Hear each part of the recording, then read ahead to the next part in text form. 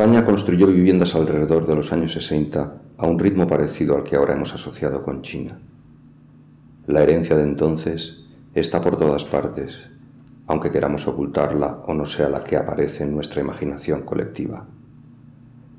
Pero eran viviendas para una persona, una familia, totalmente distintos, con necesidades de emergencia, sin dinero, sin sanidad, sin recursos.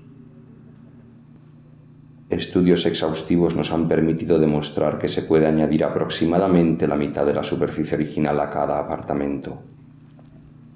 Este ensanchamiento de la estructura del edificio,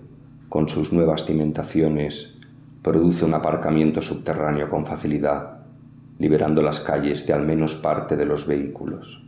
El programa Ensanche Amplio es capaz de saber de qué edificio se trata solo con la dirección postal. Analiza el espacio alrededor,